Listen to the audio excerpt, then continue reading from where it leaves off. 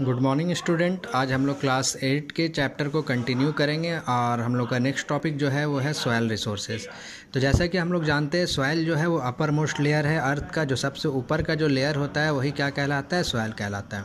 आप लोगों ने, लगभग लोगों ने मिट्टी को अपने हाथ से पकड़ा ही होगा, ठीक है? तो ये आता कहाँ से सॉयल बनता कैसे है? क्या क्या कंडीशन होता है? ये सब चीज़ हम लोग इसमें जानेंगे, ठीक है? वेदरिंग ऑफ़ रॉक्स जो वेदरिंग होता है रॉक्स का और ऑर्गेनिक मटेरियल ये बायोलॉजिकल प्लांट्स ऑर्गेनिज्म ये सब लिविंग और डेड ये सब मिलके सॉयल का फॉर्मेशन में हेल्प करता है, ठीक है? सॉयल में ह्यूमस भी होता है, जो ऑर्गेनिक मैटर जो डिकम्पोज होता है, उससे पैदा होता है। वाटर होता है सॉइल में, ठीक है, जो न्यूट्रिएंट के साथ डिजॉल्व होता है और एयर भी होता है सॉइल में, ठीक है। ये हर कुछ पाया जाता है सॉइल में। Gases such as carbon dioxide low level of oxygen the right mix of organic matter and minerals make soil fertile अगर ढंग से मिक्स रहे ऑर्गेनिक मैटर और मिनरल ये सब तो सॉइल क्या होगा आपका? फर्टाइल लैंड होगा, ठीक है। यानी फर्टाइल सॉइल होगा और उपजाऊपन उसमें क्या होगा? ज़्यादा होगा।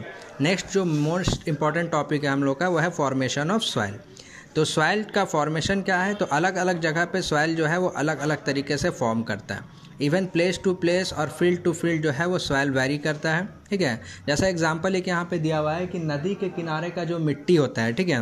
वो ज़्यादा फर्टाइल होता है इन कंपेरिजन टू वो सॉइल जो प्लेट्यू रीजन में पाया जाता है, ठीक है? वैसे ही प्लेस टू प्लेस ये वेरी करता है। जैसा कि हम लोग देखें कि नदी के किनारे से भी मतलब नदी के किनारे भी इम्पोर्टेंस रखता है कि अगर किनारे हैं तो ज़्यादा फर्टाइल है, दूर है तो कम फर्टाइल है। उसी तरीके से और भी बहुत सारा फैक्टर्स है। जैसा यहाँ पे चार फैक्टर्स को हम लोगों को पढ़ना है पेरेंट रॉक क्लाइमेट वेजिटेशन और टाइम ये चारों फैक्टर के ऊपर देखना है कि सॉइल का फॉर्मेशन इस चारों फैक्टर से होता है। तो सबसे पहला है पेरेंट रॉक पेरेंट रॉक का मतलब वो रॉक जिससे सॉइल बनता है। ठीक है, यहाँ से क्लियर हो गया कि सॉइल किससे बनता है? रॉक से बनता है। तो रॉक में, उस पत्थर में कैसा मिनरल है, क्या टेक्सचर है उसका, क्या कलर है, क्या केमिकल प्रॉपर्टीज़ है, क्या प्रेमेबिलिटी है, ये सब चीज़ डिसाइड करता है कि मिट्टी कैसा बनेगा। यानी रॉक का टेक्सचर रॉक का कलर और रॉक का एवरीथिंग डिसाइड करता है कि मिट्टी कैसा बनेगा। For example granite rocks will produce coarse loamy soil ठीक है? ग्रेनाइट रॉक से कौन सा सॉइल बनता है? लूमी सॉइल बनता है। बेसेल्टिक रॉक से क्लेई लूमी टेक्सचर सॉइल आता है। क्लियर है सबको? यानी पेरेंट रॉक से डिसाइड होता है कि सॉइल कैसा बनेगा।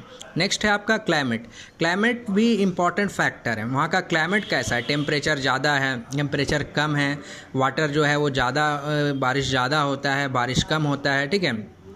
कौन से प्लेस पे है?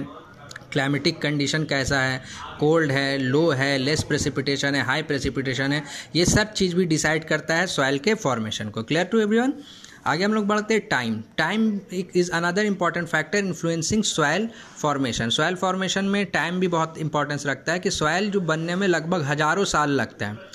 और इस हज़ारों साल में सॉयल का कलर जो है वो चेंज होता है। उसका प्रॉपर्टीज़ जो है दिन ब दिन टाइम बाय टाइम वो चेंज होते रहता है, ठीक है?